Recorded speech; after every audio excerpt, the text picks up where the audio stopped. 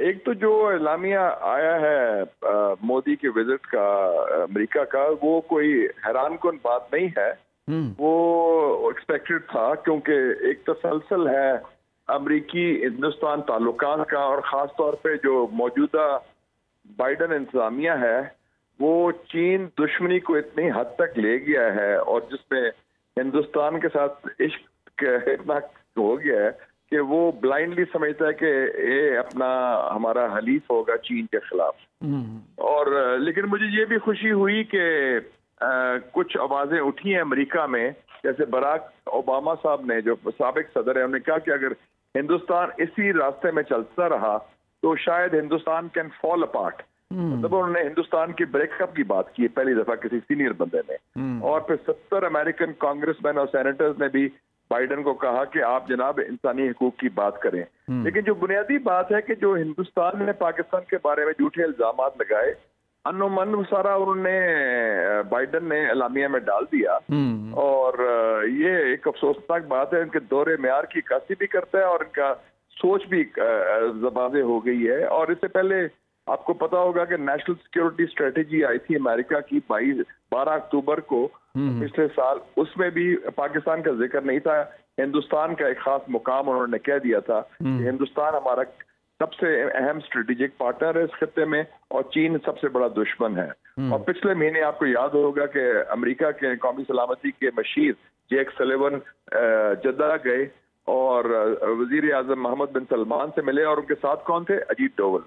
और उन्होंने कहा कि मशरकी वस्ता को हम मुंसलिक करेंगे जनूबी एशिया हिंदुस्तान के ज़रिए इंफ्रास्ट्रक्चर हम्म। के ज़रिए तो आप जो ग्रैंड डिज़ाइन कह लें अमेरिका का इस न्यू कोल्ड वॉर में वो वाजे हो गया है तो हम्म। हमारे लिए भी और हमारे हुक्मरानों के लिए भी ये सोच क्लियर होनी चाहिए कि हम्म। हमारी भी स्ट्रेटेजिक क्लैरिटी होनी चाहिए कि अमेरिका क्या कर रहा है और रूस और इंडिया का क्या रोल है और हमारे कहाँ मफादात हैं और हमारे लिए जो कोर इंटरेस्ट कौन हमारे प्रोटेक्ट कर सकता है चीन करेगा, इस खत्ते में होंगे, या कोई दूर आप देखेंगे वॉशिंगटन लंदन या पेरिस या ब्रसल आपको नहीं लगता कि पाकिस्तान कन्फ्यूज़न का शिकार है? अभी तक फैसला नहीं कर सका कि उसे करना क्या है। कभी हम अमेरिका की तरफ़ देखते हैं, कभी हम कहते हैं, चीन हमारा स्ट्रेटजिक पार्टनर है।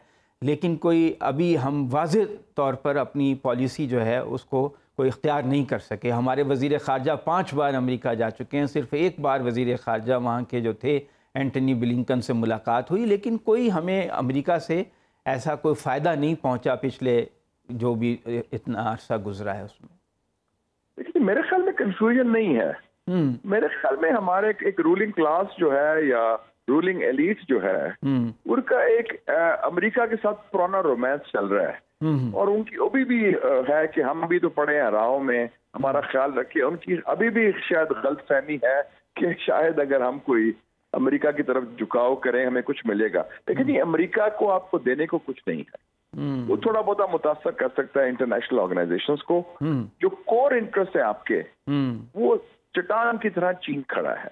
साढ़े पाँच अरब डॉलर चीन ने दिए आपको। जी ट्वेंटी का बॉयकॉट मकबूजा कश्मीर में चीन ने किया। यूएन सिक्योरिटी काउंसिल चीन आपकी आवाज़ है।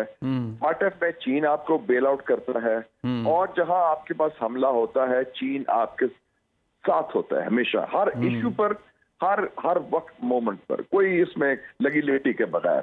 तो अमेरिका तो बस आ, आपको पता है कि मैं समझता हूँ कि एक और जो अलामा इकबाल ने फरमाया था और हारून रशीद साहब बैठे हैं वो एक्सपर्ट है।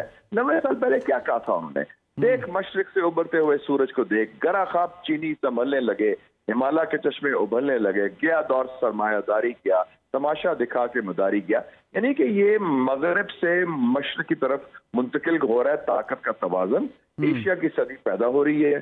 जो मशरक से उभरते हुए सूरज की बात की थी इकबाल ने और उसकी अब दुनिया तब्दील हो गई है।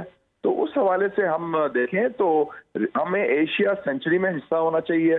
हमारे चार मुस्लिम ममालिक हैं जो मेजर प्लेयर्स होंगे अगले दस सालों में। पाकिस्तान सऊदी अरेबिया तुर्की और ईरान। हम्म। और इनका मुकाम होगा इस खत्े में। इस खत्े से अमेरिका जला चुका है। मार खा के गया है। अफ़गानिस्तान में भी इराक में भी और तिया पांचा किया लीबिया और सीरिया का भी हर जगह। तो हमें जमीनी हकायक को देखना चाहिए। और आप देखना चाहिए हमारे मफादात का तहफ़ कौन करता है? ना कि कोई पुराने जमाने का इश्क है या सोच है या रोमांस है। अमेरिका से अच्छे ताल्लुक रखें इस्लाम दुआ रखें।